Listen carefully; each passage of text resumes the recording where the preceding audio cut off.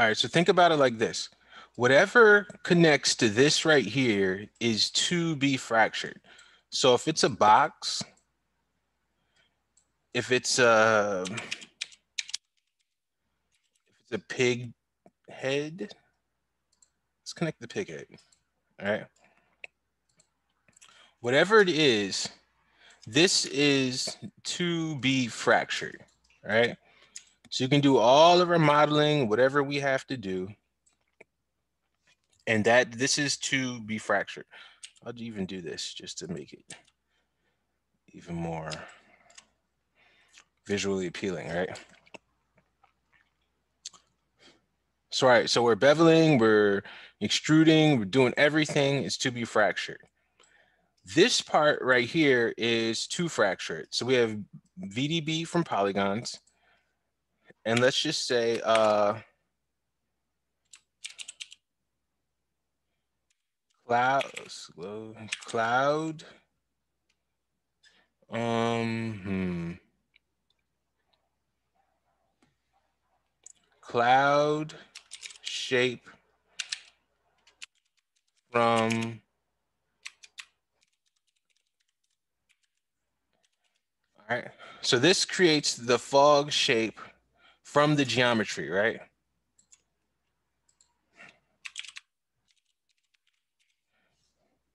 Right. So whatever we're pulling in, we're creating our cloud fog,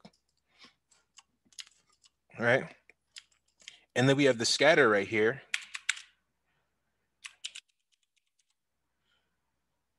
Scatter points, right? So this right here is our points from the cloud.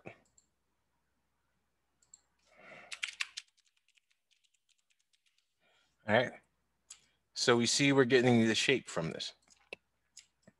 And the beautiful thing is, because it's Houdini, we can go back and add one of these in here and we can like scale this down if we need to or put it wherever we want, right? So we see the manipulator, we can, you know, something like this. It's all good, right? And so this right here is the number of points. So we can do 100, let's say.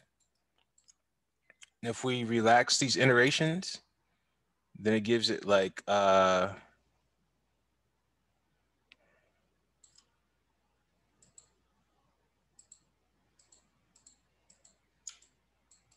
I guess it kind of shrinks it a little bit more, but um, gives gives us a little bit more random order, or we can go to this right here.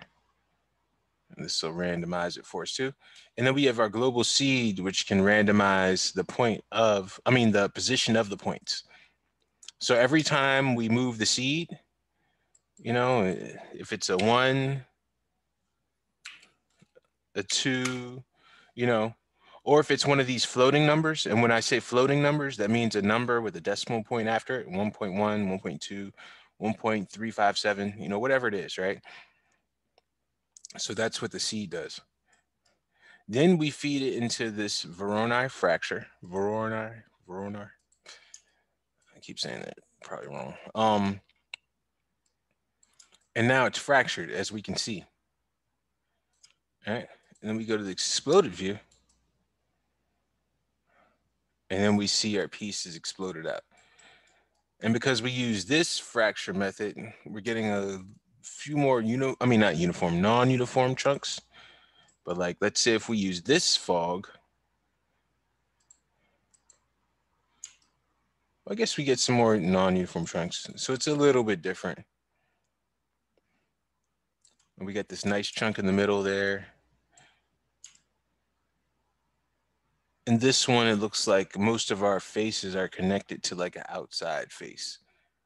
Like none of them are really. Oh no, no, we got one. One. Uh, yeah, so I think that might be one of the differences. Let me see this again. I'm just trying to see if we have a face that's completely black all the way around or if they all have a connection to the outside world. Yeah, that's what it's looking like for both of these. Okay. And then we have an assemble, right? So this is like, uh, it has uh, create pack geometry. So pack our bags, all right? So it's like this. This is us right here. Um, we're doing whatever we have to do to uh, be us to, you know, um, our model to I'll explain this one. Um, yeah, this is us, whatever we are. If we're a pig, if we're a human, if we're for Eddie, this is us, right? And then we need to be uh, fractured, right? So we're kind of like, all right, we're gonna be chopped up in this many pieces, and um, we're gonna look up how we're chopped up, right? Then this right here is like, all right, we're packing ourselves, we're packing our geometry because we're gonna go on a trip, right? And where we're going is is into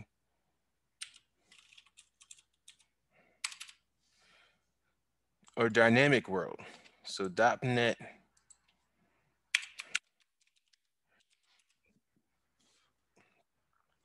dynamic world, right?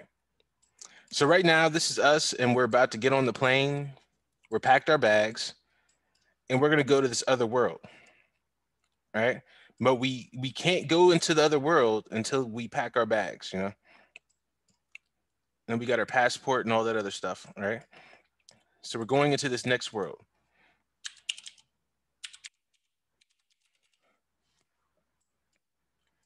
Now this is our like seat in this next world.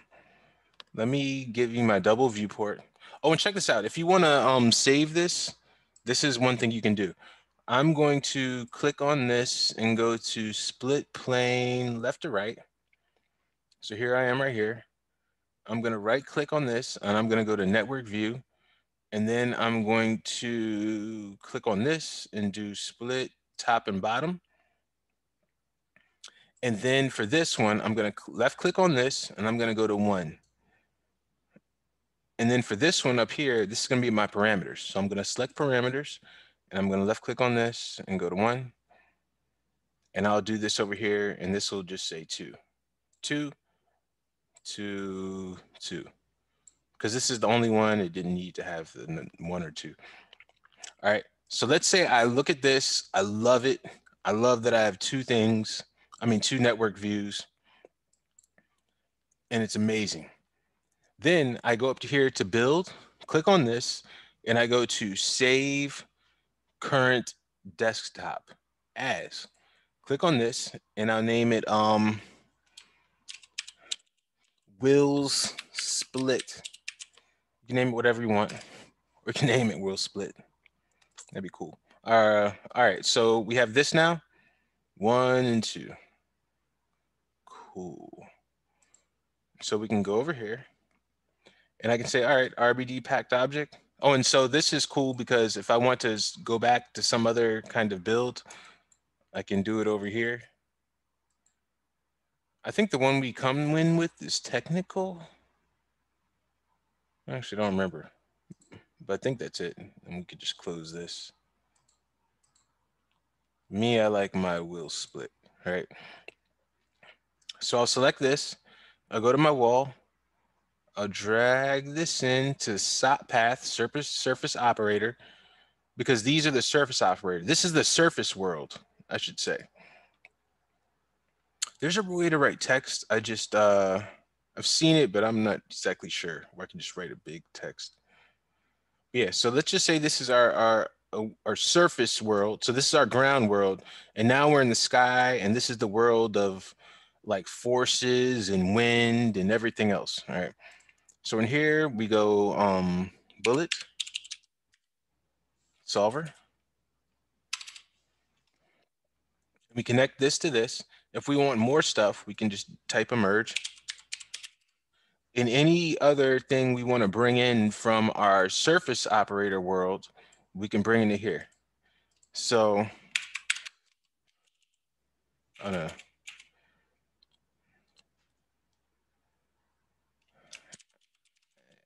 So whatever the thing is that's here, you know, we should definitely name it.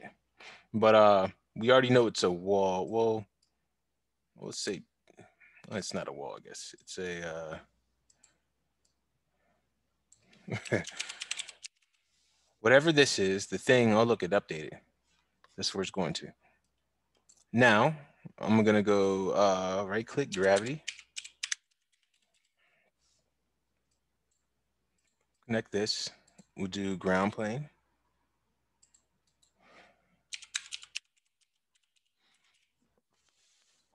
We'll do a merge. All right, connect this to this. Connect this here. These things are switched. So uh, we'll click on this to get this one to come in first and this one come in second.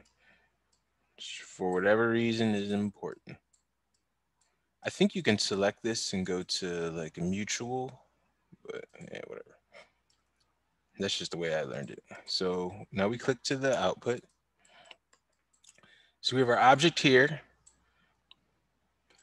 It's going through this bullet solver, which is saying, all right, well, this is how things bounce. This is how things move when things collide with each other. Um, it's basically like, like the, the engine that runs everything, the life force of this, of this world, you know? So it's the wind, the rain, the sun, everything, right? This is the king of this world, this dynamic world. A ground plane's infinite. Our gravity is saying, all right, these are the forces in our world. We can add more, you know, like wind and other things, but this is just the default force. And then our output spits it out. So press play.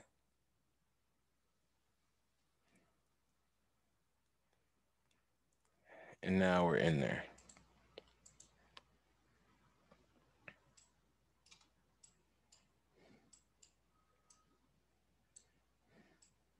All right, and if we want another one in there,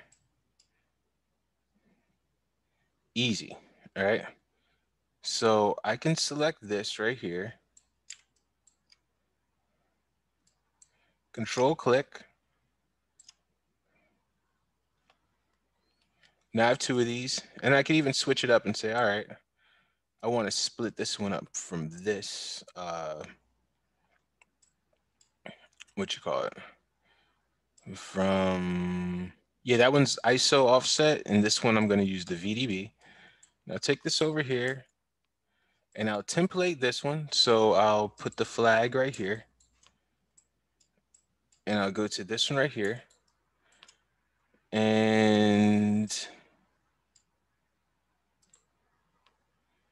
I'll do this. I'll click on this and I'll move this over. And we could even move this up. All right. So we have thing uh, one. Let's do thing two. Oh, that's like Dr. Seuss. All right, let me, uh, let me not get on that. Uh, so let's go here. We have thing. And then let's go to thing two.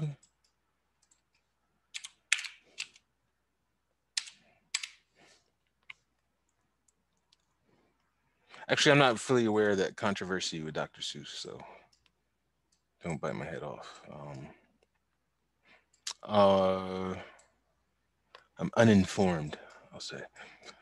All right, so click on this right here. So now we got two of these things. And let's press play.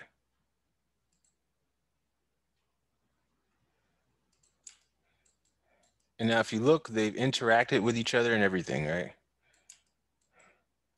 one smashes, the other one has pieces that bounce and they push off of each other. So whatever, whatever we want can go into this world right here